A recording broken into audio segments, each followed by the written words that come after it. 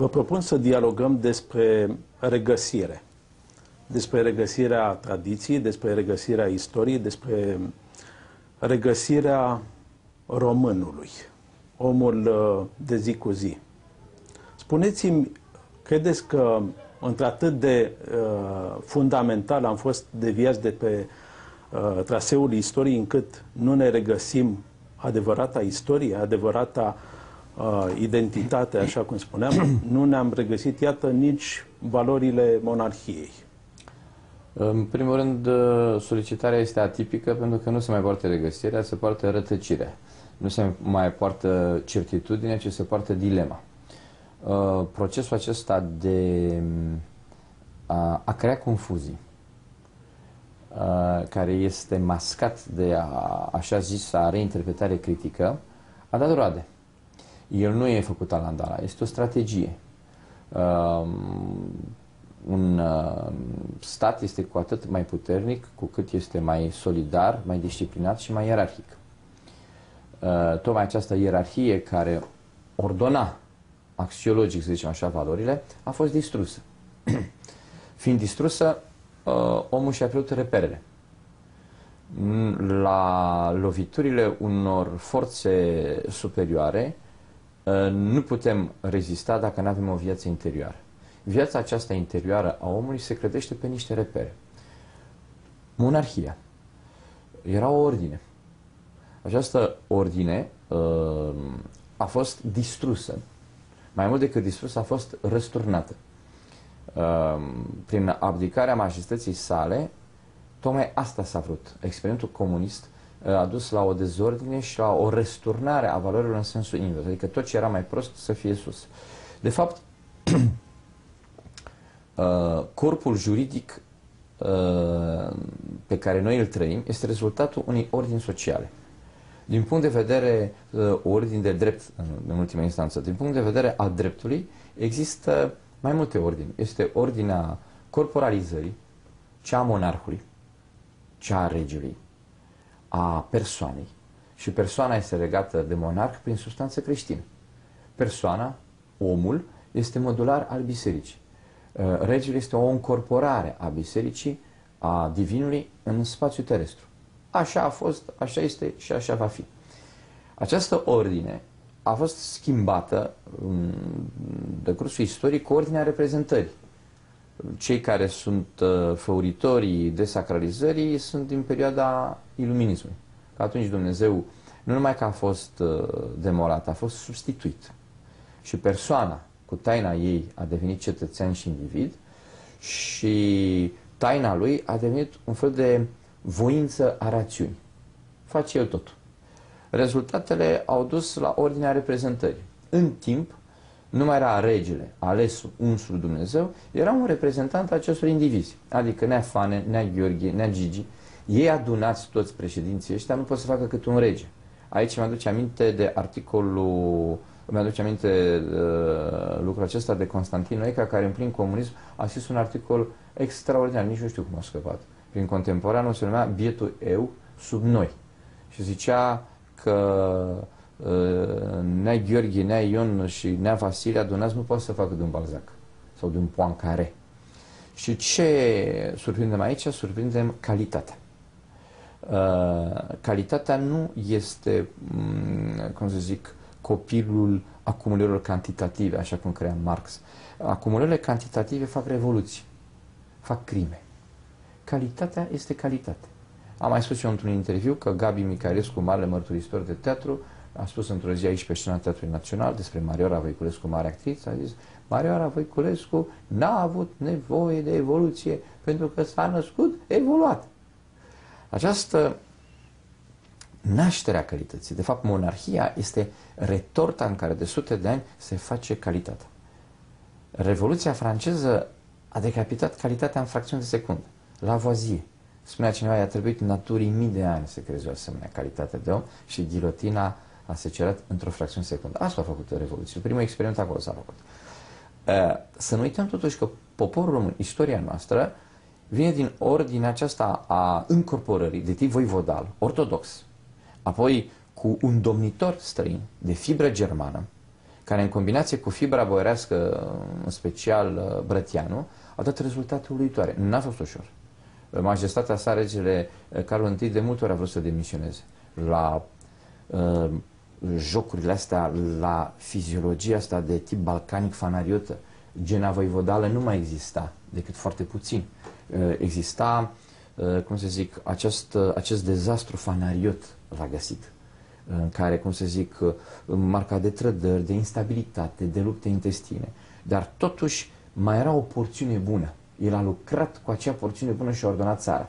Noi trebuie să fim foarte atenți la mariajul ăsta între gena germană de tip Hohenzollern cu gena boierească românească. A dat niște rezultate uluitoare. Atunci s-au creat stabilitate și partea aia de modernitate și de ce nu de, de, de, de, de coagulare a neamului. Um, există pe această ordine care s-a făcut a încorporării, noi n-am trăit ordinea reprezentării, noi am trăit, cum se zice, în, tot în spațiul de drept, ordinea totalitară, în care nici măcar neafane nu mai era, era tătucul, de tip social, Stalin, Gheorghiu, deci și toți ăștia care și pățeava comunismul acum. Uh, până în perioada dictaturii, este era tătucul. Iar uh, persoana, adică omul, care era individ în ordinea reprezentării, a devenit tovarăș un instrument ideologic. De aceea, de aceea uh, v-am întrebat de această fractură în uh, istoria recentă a, a României uh, pentru a încerca să înțelegem de ce nu ne-am putut regăsi pe sine, nu departe de locul în care realizăm acest interviu, câțiva tineri în decembrie 89 au strigat libertate. Am crezut, poate nu atât de mulți din, dintre noi că ne-am, ne-am regăsit. Ne-am regăsit acel filon de libertate, da. de înțelegere. Uh, atunci a fost un instinct legitim și natural de regăsire, numai că l-au retezat din start. După 20 de ani, cad și eu în această modă a unui bilanț de 20 de ani, după 20 de ani vedem că um, am avut doar iluzia că putem reconstrui, de fapt nu știu dacă am construit ceva durabil. Noi ne-am pierdut uh, această, acest meșteșug de a construi, pentru că avem ziditori în istoria noastră, în istoria neamului românesc. După uh, 89 n-am mai construit e, e, e vorba de reflexul natural a acestui popor care a fost anulat. Uh, Revoluția n-a fost împotriva comunismului, ci împotriva Ceaușescu. Uh, comunismul ca ideologie și acum este proslăvit în uh, inteligenția de stânga occidentală. Uh, de aia se și merge spre un uh, socialism, cum zicea Petre Țuțea. Ce vă socialism? E comunism cu sifon. Uh, de tip comunitar, în sensul în care, iată, intrăm în ordinea interpersonală, nu se mai știe cine conduce, o cultă internațională. Și se bagă pe administratori ăștia pe post de președinți. Și ăștia răspund pe manete. În contextul ăsta, poporul român are reflexele lui voivodale. El vrea monarh. El nu poate să se descurce cu administratorii de teren din 89 încoace, care nu au făcut altceva decât să vândă țara. Aici este o problemă de instinct, de legitimitate. Noi suntem ortodoxi. Noi avem substanța uh, creștină în sânge. Eu au anulat-o. Uh, sau mai bine zis, au amânat-o. Undeva, fundamental, România profundă are nevoie de așa ceva. Ceea ce este izbitor de comic și de tragic este că toți acești uh, lideri politici din 89 până acum, e sărăci tot au vrut să se legitimeze. Dar ei s-au legitimat în fața populației, nu în fața poporului. Populația este un anonimat, un vid istoric. Cu populație nu poți să faci democrație.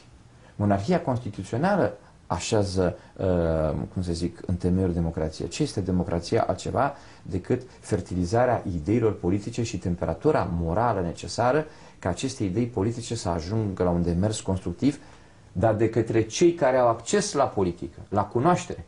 Cum spunea Pepe Carp, uh, poporul dă temperatura, noi dăm medicamentul. Uh, nu poți să faci democrație cu niște oameni care nu au cunoștințe politice, care nu au reflex cu niște foși pușcăriași. Diferența între populație și popor este următoarea, că suntem în Teatru Național.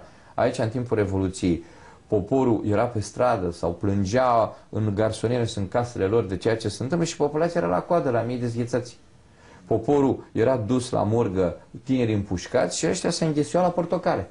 Asta este. Ăștia sunt votangii de astăzi, adică păstrăvăriile de vot care le au ăștia acum. Nu trebuie vorbit așa idealist. Știm foarte bine ce s-a făcut la Malta, Știm foarte bine că acesta a fost procesul de schimb, știm foarte bine că nu s-a vrut ca regele să fie în țară de către cei care au făcut o uh, lovitură de stat, știm foarte bine că nu se vrea lucrul acesta, dar vrem noi.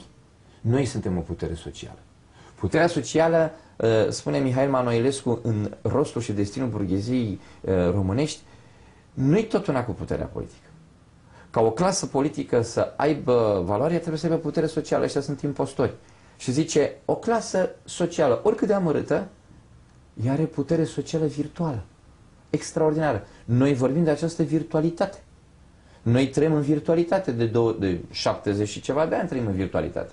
Acum o să zic că ceva, domnule, dar nu toți monarhii au fost categoric. În istoria uh, omenirii au fost uh, și multe accidente și chiar lucruri nefirești în monarhie. Chiar și în monarhia noastră au fost anumite lucruri care nu au fost reprezentative. Dar noi aici susținem principiul monarhic. Este exact ca și cum ai zice că într-o familie nu trebuie tată. Că a fost un tată alcoolic la un moment dat sau nebun. Dar cum să-l facem în laborator? Deci prezența tatălui este organică uh, ierarhia este organică. Marele etolog Conrad Lorenz spunea că instinctul ierarhic ne naștem cu el. Și că uh, rămâi marcat când ești mic când bunicul te mângâie pe frunte sau mama. Nu poți să ai uh, uh, political correctness cu ei. Nu poți să fii, uh, cum să zic, egal. Este ca și cum te duci la duhovnic și spui ce ai pe suflet și spune zi, zi tu acum. Adică aberațiile astea de politică corectă noi trebuie să observăm că în noua ordine mondială este o, o nouă schizofrenie mondială. Mie nu pot dezvolta că a fost utricit și membru de partid chinuit, că vine ăștia cu politica corectă care este o impostură și asta. O altă ordinărie care schimbă reflexul valoric. Eu îl iau pe omul din față ca valoare, nu ca etnie și nu ca rasă. Dacă este un țigan care este valoros, îl iau pentru că omul acela este valoros, nu pentru că este țigan. Uh, pentru că uh, te, te terorizează cu rasismul și cu asta. Sunt șmecheriile lor de birtași și de contabili internaționali care fac lucruri de genul acesta. Nu, domnule, omul acela poate să fie turc, evreu, armean, român. E o valoare. Este statutul axiologic al valorii. Nu vine dumneavoastră că iar, domnule, că am, am pomenit acum pe stradă pe aici și că WW sunt rom, de ce mă calci în picioare? Ce te-a călcat mă pe tine în picioare? Că ai cele mai mari zile cu banii comunității europene, ai mașini, Există țigani admirabili. Există din etnia țigană oameni care fac mândrie, domne. Enescu îl ducea pe Yehudi Menuhin, pe evreul Yehudi Menuhin, îl ducea în satele țigănești ca să vadă că ăștia au genii muzical. Dar este și țigan hoți, exact cum este și români de calitate și români care ne fac Haideți domnule să discutăm lămurit. Eu mi-am dat seama că uh, cinismul occidental ne trădează din nou în clipa în care am văzut o echipă a BBC-ului luând uh, interviu într-un sat Uh, țigănesc, uh, cunoscut prin rapturile care le făceau. Deci nu erau niște țigani din ăștia, să zicem, ciurar, uh, inelar, care fac treabă, domnule, și care sunt chiar pitorești și care, cum să ne împăcăm. Erau unii care erau hoți. Acolo au venit BBC-ul să întrebe cum au fost ei călcați în picioare de comunism. N-am văzut BBC-ul la Petrețuțea. N-am văzut BBC-ul la foștii deținuți politici. N-am văzut BBC-ul să facă un medalionul Corneliu Coposu. N-am văzut BBC-ul să facă medalii și să dea pe CNN interviu cu majestatea sa, regele Mihai, al României, care a trăit un destin shakespearian la Lir, în exil. N-am văzut să se umple lumea cu această nedrept. Am văzut cum întreba pe un țigan amărât, care era și hoț. Și atunci vezi că sunt cinici și impostori și că vor ei să ne acopere. Dom'le, de ce ai zis WWW, sunt fost deținut politic, m-a scălcat comuniștilor în picioare. Acolo se face atitudinea corectă. Și atunci trebuie să impunem lucrul ăsta, să-i ordonăm. Noi trebuie să ordonăm uh, ordinea. Din punctul meu de vedere, eu am martiri în spate. Eu nu pot să mă joc cu, uh, cum să zic, uh, Ștefan Gheorghiu de la Bruxelles. Uh, ați vorbit de o anumită ordine, între, între ghilimele. Uh, evident, poate că sunt uh, păcatele modernității, ale globalizării, comportamentul mass media, nu cred că noi nu avem păcate, din potrivă. Mass media din, uh, din România, ziarele, ziariștii, uh, au astfel de, de apucători, cum uh, le-ați descris mai, mai devreme. Se îndreaptă către uh, false valori, către um, cei care dau strălucire clipei, care uh, apar pe sticlă siliconați și par mai spectaculoși. Dar um, în această ordine de idei, uh, cum mai putem să discernem între uh, valorile autentice de care ați vorbit mai devreme și um, aceste surogate care sunt livrate zilnic, oamenii zilei sunt politicieni, sunt oameni de succes care te, te calcă în picioare no. și prin asta arată forța lor. Domnul și Mihai, ceilalți. E simplă treaba. Uh, în Principia Matematica, scrisă de Bertrand Russell și Whitehead, două minți luminate, oamenii ăștia ajung așa la o idee firavă în aparență, dar fantastică de importantă. Știți cum zicea Nietzsche? Ideile mari vin pe vârful picioarelor, nu fac zgomot. Și zicea, domne, uh, oamenii ăștia care vedem zilnic prin ziare, politicieni care au în mână destinele, civilizații și nu ăștia au creat, sunt alții mult mai modești de care nu știm, la fi Faraday, Ampere, care au creat revoluții din care trăiește, revoluții științifice din care trăiește toată umanitatea. Mai degrabă le-a distrus Napoleon și cu ceilalți. Au distrus uh, o asemenea ordine civilizatorie. Deci, jurnalismul în România, ca și actoria, ca și teatru, în plin proces de reeducare. Ocupați-vă de gunoaie, faceți o receptivitate morbidă, Uh, astea sunt directive ca NKVD-ul, că în 47 sunt exact aceleași, așa cum haos economic, șantajul, distrugerea, cum să zic, valorilor, minciuna, impostura. Păi dacă vă uitați pe internet ce scrie de mine că m-a făcut neonazist, m-a făcut în tot felul, tocmai de asta ca să eticheteze un fenomen câtuși de cât autentic.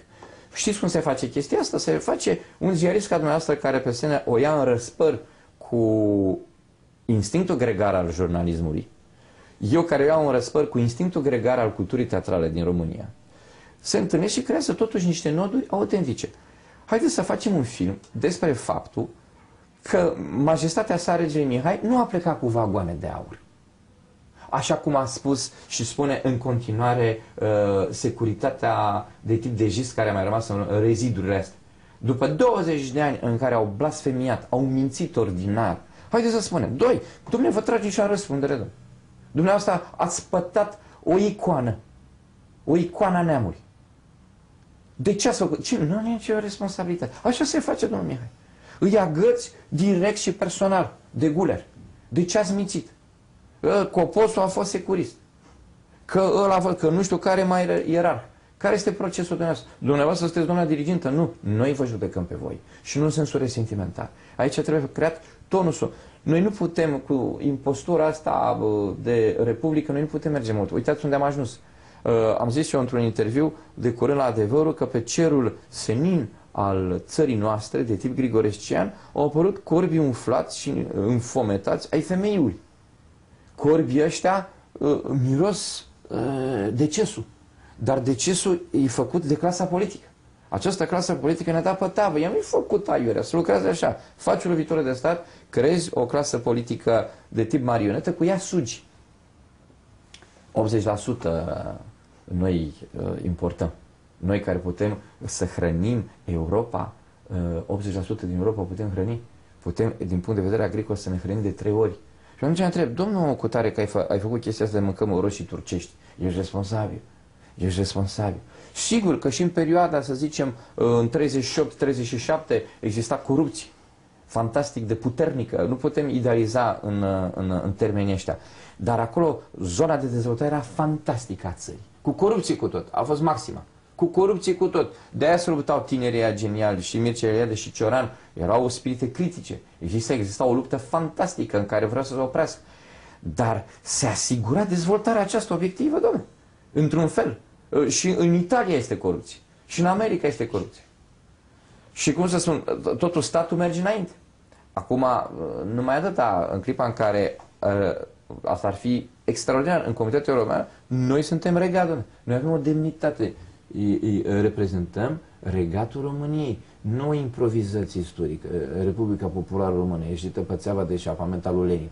Eu nu recunosc. Ăștia sunt ilegitimi. Fac și o ca Petre Țuța și prințul uh, Ghica. Dumnezeu nu vă recunoaște. Erau singurii care de la Ius și că să uh, recunoașteți. Nu recunoaștem, Doamne. Eu au fost ultimii doi care ieși din pușcărie. Ce să recunosc, mă, impostura asta? Sunt al treilea, dacă pot eu să mă așez lângă martirii ăștia.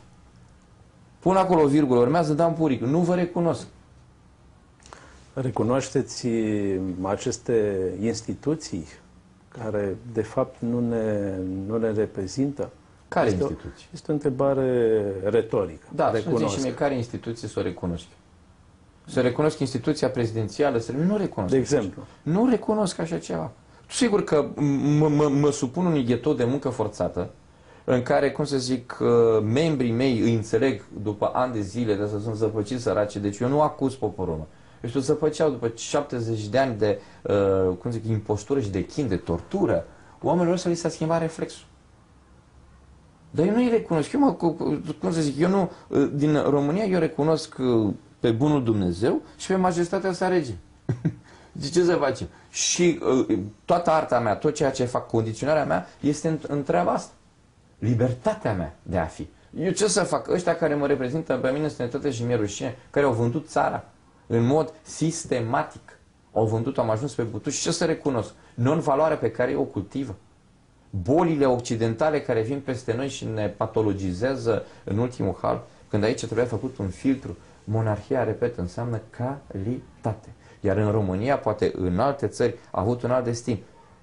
Eu vorbesc de tradiție, de temeinicie, de calitate în neamul acesta. Ea nu vine ca o injecție străină, că vine acum un neocomunist să-mi spună asta, bă, vrea străin în țară. Eu, săracul, învățat la Ștefan Gheorghiu, are un fel de naționalist comunist, așa, din ăsta, își pune tricolorul pe chiloți și îi vopsește băncile, adică un fel de țâvnoșenie din asta uh, hipoacuzică, Doamne ferește să mă ierte că sunt cu handicap, un fel de țâvnoșenie din asta de cretinism uh, comunist. Nu, aici se asigură, cum să zic, un rost, un temei uh, care merge într-o continuitate, deci în continuitatea voivodală. Dacă au fost certuri în, aici, au avut împotriva regiului câteodată ca persoană, dar nu ca monarhie. Vorbeam de, despre instituții și zâmbind v-am întrebat de tradiție. Ce tradiții au aceste instituții recente? Păi așa sunt generații spontane. Ăștia sunt generații spontanee. Au ieșit uh, așa din uh, Moscova direct. A luat ultimul de pe stradă, care erau 600 de ani și a zis, bă, te facem președinte pe tine. Ce ești? Ce ferici? Au zis, a, ce ferici? Bă, muncitor de tăi.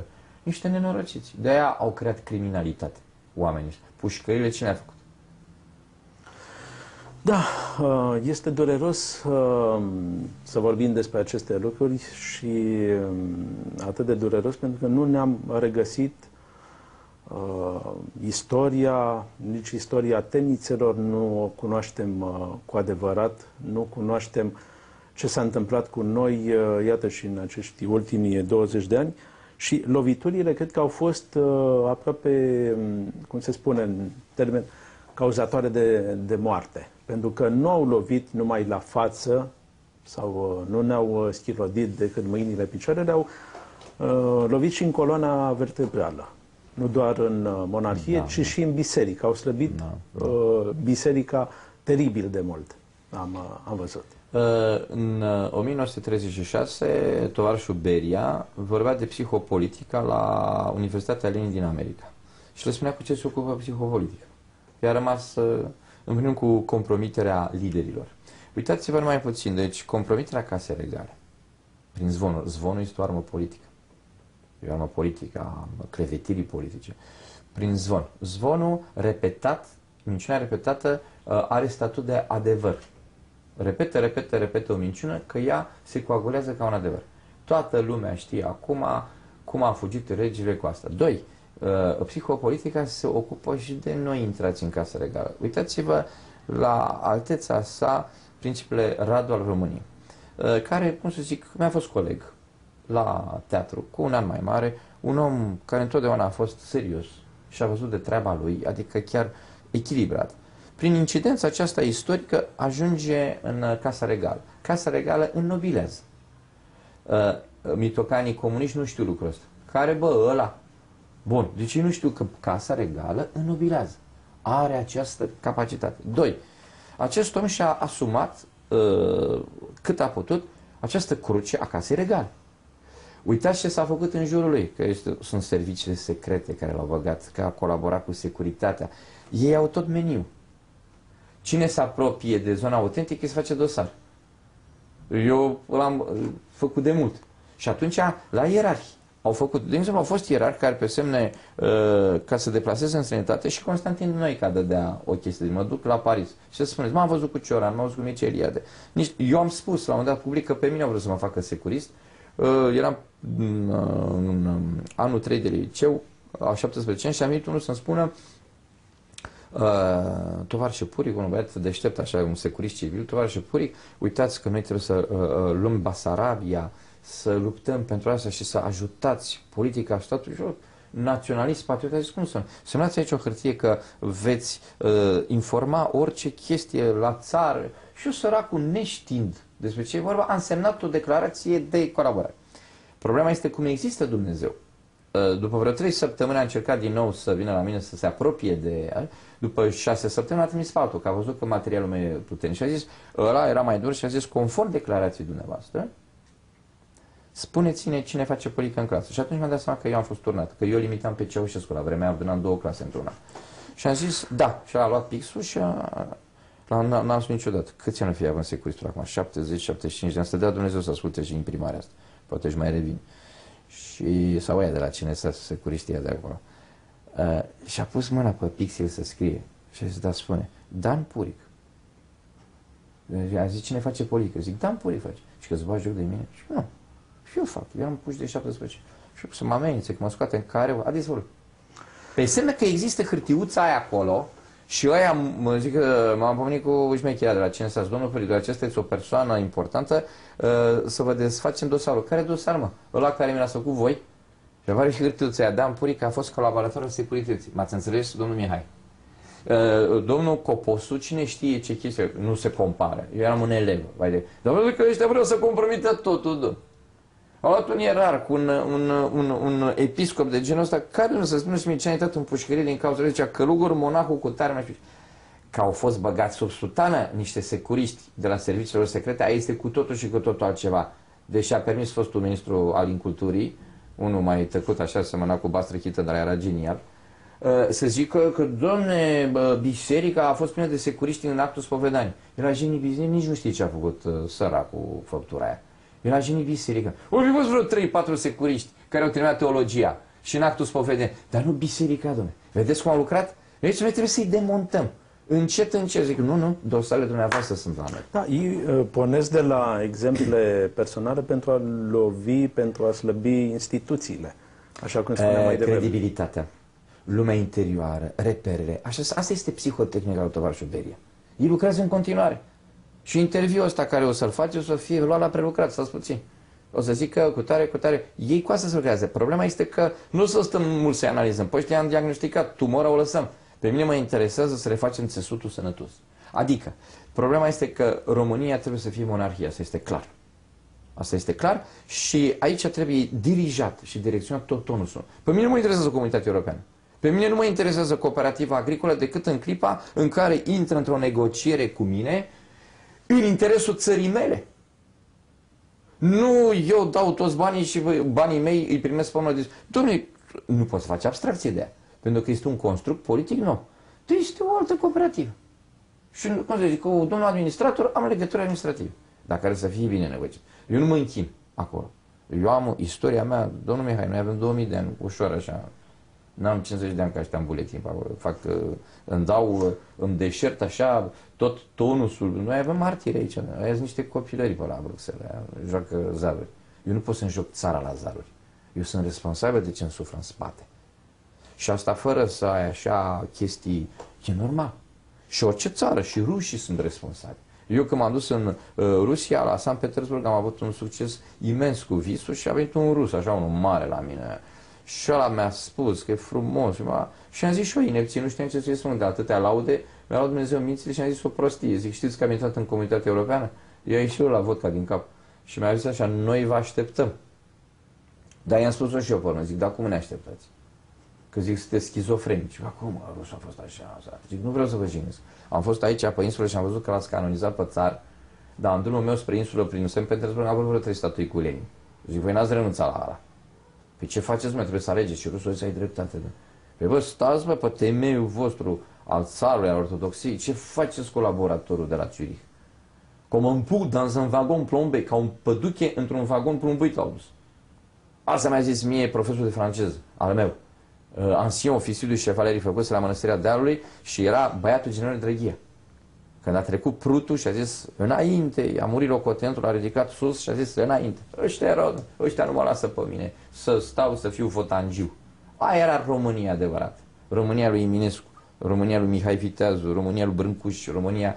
Ce facem cu ăștia? Nu că facem acum o democrație din asta apă de ploaie cu toți nenorociții care citesc uh, și care sunt furajați de televiziunea asta ordinară. Asta este, ne facem în, în rostul nostru, cum zicea Petrețuța, energii mari pe suprafețe mici. E modelul hristic. A zis Hristos, curaj turma mică, n-a zis curaj mase populare. Aia a zis-o Marx. A zis tupeu mase populare. Nu curaj. Curajul, îndrăzneala de tip hristic, nu are legătură cu tupeul securiștilor comuniști. Nu are nicio legătură. Sau ăstora care vin acum mascați așa secularizanți. Ăștia calcă, nu vedeți că nu se uită la noi. Noi nu avem identitate, domnul Mihai. Noi nu cere nimeni scuze că ne-a băgat în a doua conflagrație mondială, că ne-au făcut praf, că ne-au împărțit țara. Nu cere nimeni scuze. Aia la Bruxelles trebuie să aibă stea cu România în bernă. Să știi să se încrin, domne, au făcut o Hiroshima sufletească, fiind nevinovați istoric. Am vrut noi spațiu vital? Nu. Bun, ne-ați băgat în... Ați făcut experimentul comunist. Pentru ei Churchill este mare, cum să zic, erou, pentru mine este criminal de război. Pe, pe mine m-a dat pe, o, o, pe un bilețel. Un șervețel. Pe un șervețel. Și o spun, cu ce ocazie mai dat pe mine, fără să-ți fac ție nimic? Și atunci, domnule, fac ca Don Quixote, aici este invers. Pentru dumneavoastră, pentru englezi este așa, dar ce, ce rău v-am făcut eu ca națiune? Ați băgat cu neamțul în spate că venea Hitler în... Cine putea să facă ce a făcut altceva decât Marșal Antonescu în situație? Păi până și 23 august este o tragedie îngrozitoare. Da? Țara asta a trecut printr-o tragedie. Cine poate să-l judece pe majestatea sa, regele Mihai I, decât istoria? Da? Pot eu, Dan Puric, să-l judec? Poate ăsta de la Ștefan Gheorghiu? Uh, cine poate să-l judece pe Mareșalul Ion Antonescu în toate situațiile? Au fost momente cutremurătoare, da? tulburătoare ale istoriei. Trebuia să fim scoși din istorie. Noi trebuie să vedem această crucificare a noastră. Să zicem, sunteți responsabili. Moral sunteți responsabili. Și așa am să mor. Și cum a zis Foș, generalul, mă îngropați în picioare. Frumoasă treabă. Despre istoria regăsirii și despre uh, regăsirea valorilor uh, autentice prin monarhie și prin, și prin biserică. Pentru finalul dialogului nu pot să nu mă gândesc că, eu știu, poate și apropierea sărbătorilor de iarnă, la regăsirea poftei de a trăi și um, la regăsirea um, bunei dispoziții. Pentru că uh, merg adeseori pe stradă și am scris lucrurile acestea și în cărțile mele, uh, văd foarte mulți oameni triști, uh, pătrunși de o tristețe care uh, li s-a întipărit pe chip, pe suflet, nu mai știm să zâmbim. Cum ne regăsim plăcerea de a trăi? Prin cărțile alea care apar și mă fac pe mine să râd, gândirea pozitivă, care este un cretinism maxim. Și să dat la ciocanul în picior, tu să zâmbești. El zice, aia, aia sunt, domnule, vezi, marțieni, În primul rând, o țară tristă, plină de umor, nu? E vechi tristețe. Sau, cum a zis, din nou, Acovia, o nouă primăvară pe vechile dureri. Tristețea aceasta este acumularea unui necaz istoric. Uh, numai că acum, în perioada asta, ea devine, uh, cum să zic, cutremurătoare pentru că este o tristețe și o deznădejde acumulată. Și am să explic de ce. De regulă, în uh, programul de distrugere a statelor, uh, era generalul acela chinez, Tsung Fu, care spunea la un moment dat, că distrugi modelele întâi, compromis până bagi muzică senzuală. Exact ca la noi. Ne manerizează. A distrus monarhia, a distrus reper, a distrus pe Eminescu, bagă, bagă băi. Asta, uh, compromis personalitățile. Uh, plătești foarte bine pe informatori. Și pe urmă mai zice o chestie cu tremurătoare. Dă-le senzația că se îndreaptă. Și când se îndreaptă, tai. Până în 89 ne-a dat senzația că se îndreaptă. Dezamăgirea e mare, din punctul ăsta de vedere. Numai că dezamăgirea este un păcat, domnule. Deznădejdea. Omul care crede în Dumnezeu nu deznădăjduiește.